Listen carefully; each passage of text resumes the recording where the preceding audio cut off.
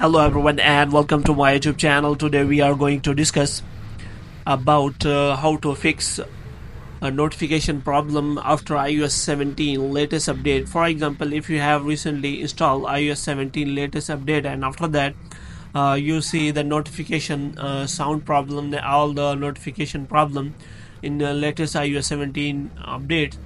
Uh, then how you can fix that for this what you have to do you have simply watch this video completely so first of all what you have to do you have to simply uh, check you are connected to a proper Wi-Fi or internet connection. For this what you have to do you have to simply turn on the airplane mode for some seconds so that your Wi-Fi internet connection can be restarted. Moreover you can also restart your Wi-Fi router. And after that what you have to do you have to simply go to settings.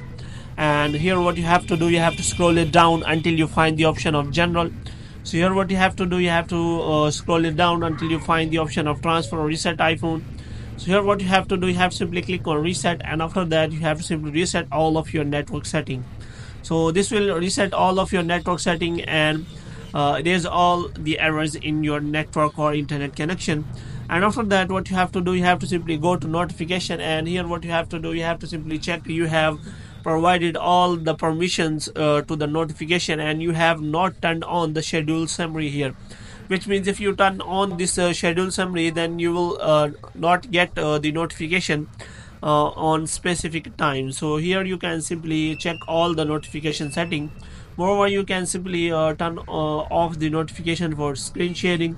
And also you can simply turn off the announced notification and you can also check for the notification for uh, style for different apps and you have to make sure that all the uh, apps got the notification option enabled.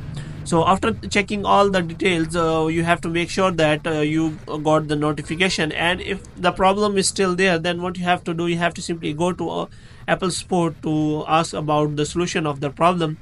So if the problem is still there then what you have to do you have to simply wait for the next update so that uh, this problem can be solved by the latest iOS update. So hope you have liked this video. If you get more videos like this, you can subscribe our channel.